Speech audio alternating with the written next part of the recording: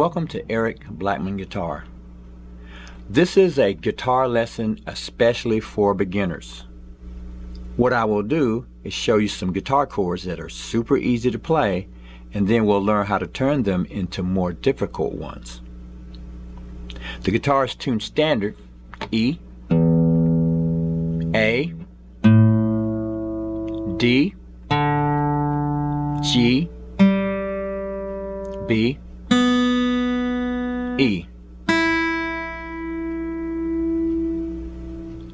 Now for playing these chords, I'd like to emphasize the use of the middle and ring finger because emphasizing those two fingers will help us to keep track of where our fingers are on the fretboard and which fingers we're using as we play chords.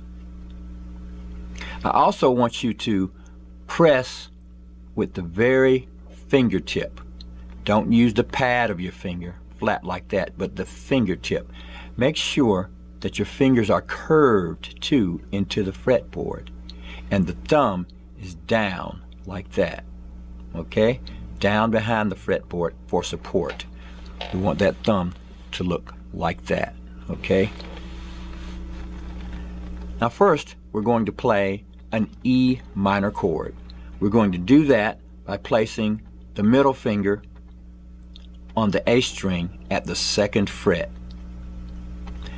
The ring finger will also be on the second fret on the D string. We want to keep those fingers curved, thumb behind the neck, and we're going to take our thumb and just brush the strings very gently. We don't want to press down on the strings when we're playing them. We want to just brush the strings just like that, barely pressing them, so we get a nice soft chord sound. We want to keep those fingers curved so that all our strings sound. Because if we don't curve our fingers, we'll get muting like that, okay? That's our E minor chord. We're going to move those two fingers down to the D and the G string for an A suspended 2 chord. Now that chord is going to sound better if you put your thumb on the A string and strum from there. And try to see if you can get every string to sound. Next is a D major 9 chord. We're going to place our fingers on the G and the B string and play from the A string. Like that, gently brushing the strings.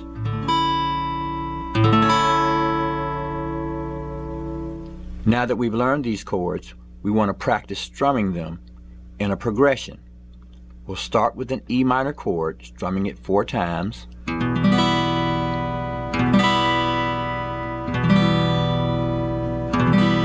A suspended 2,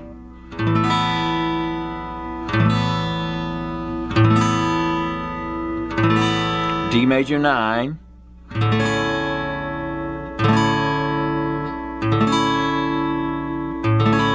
and back to A suspended 2.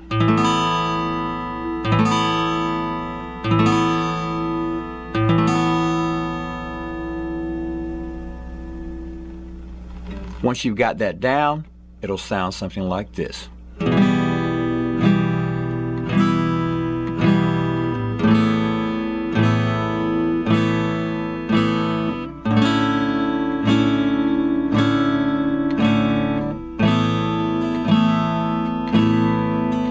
Repeat it.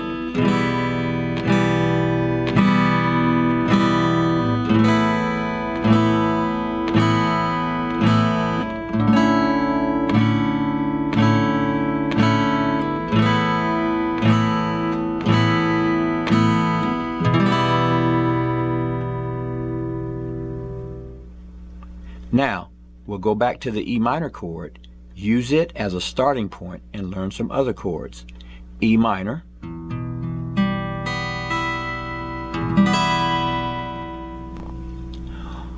We'll take the ring finger down to the G string, leaving the middle finger on the A string at fret 2, and we'll play an E7 suspended 4. E7 suspended 4.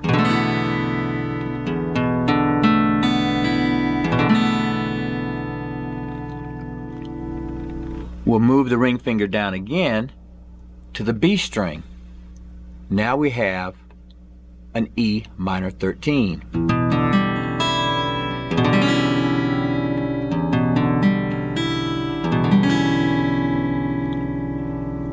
We'll move the ring finger down to the high E string and we'll have an E minor 9.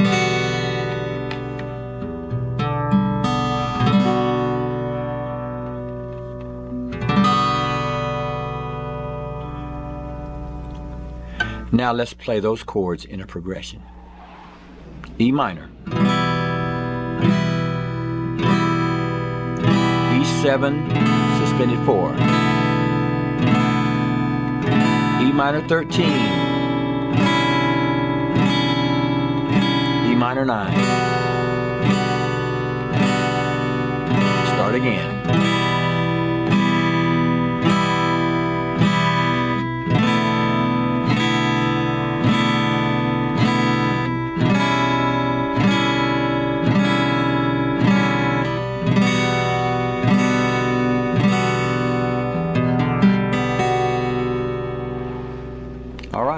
There's more.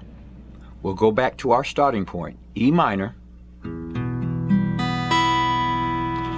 We'll take the little finger and add it in the mix to the G string at fret 2. Now we have all three fingers on the fretboard here on the second fret. That is an E suspended 4.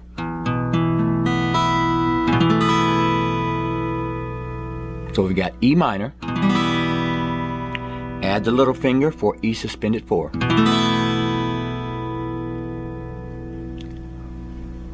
We'll go to A suspended 2 again, playing from the A string. And we'll add the little finger to the B string and we'll have an A chord. That's an A major chord. Okay? So we've got E minor, E suspended 4, a suspended 2, and A major.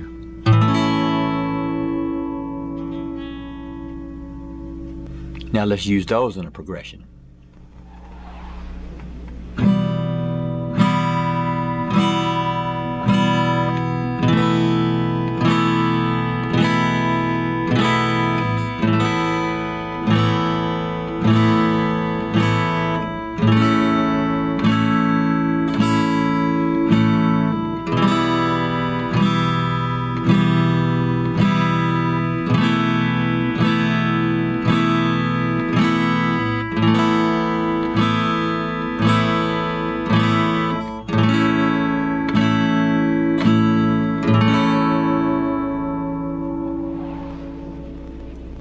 Okay, now we're going to go to our A suspended 2 and we're going to turn it into a different shape.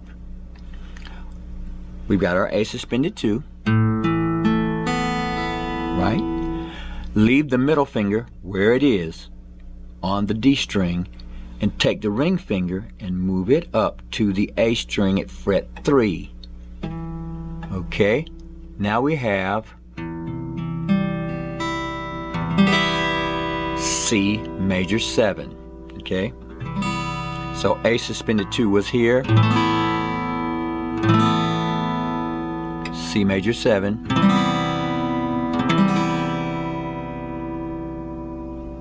And we're going to play a C chord by just taking finger 1 and placing it on the B string at fret 1. We now have a C chord.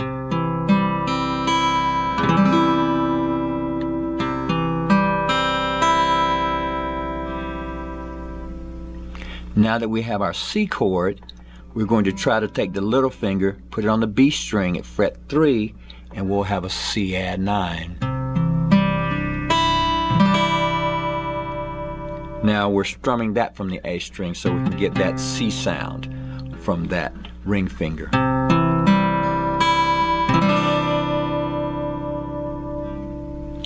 We can make a C7 by moving the little finger up one string to the G string.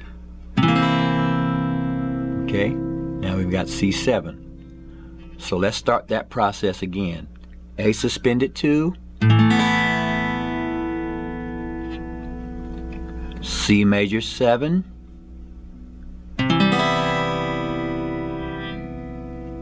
bring in the first finger for a C chord, the little finger on the B string for C add 9, move that finger up to the G string for C7.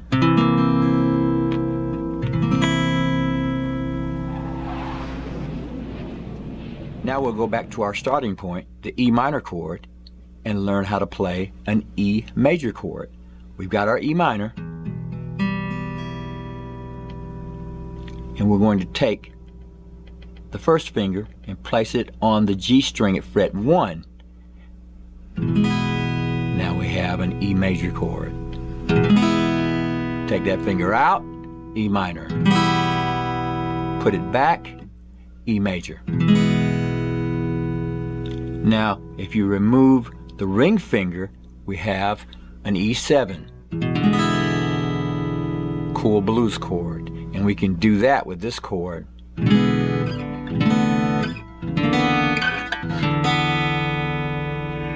Now I simply slid that chord up one fret at a time to get the sound.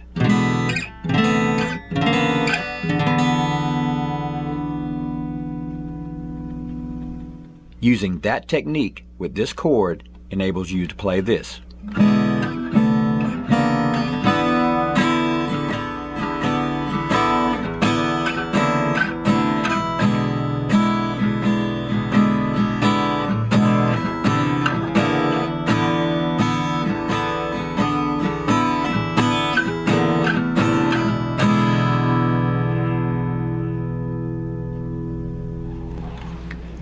Let's learn one more chord. We're going to go to our A suspended 2 chord. And we'll do the same thing we did with the E chord. We're going to take that first finger and put it on the B string on the first fret. Now we have an A minor. A suspended 2, A minor. E minor, E major, A suspended 2, A minor. Let's use those chords in a progression. Two, three, four. E minor, E major, A suspended 2, A minor.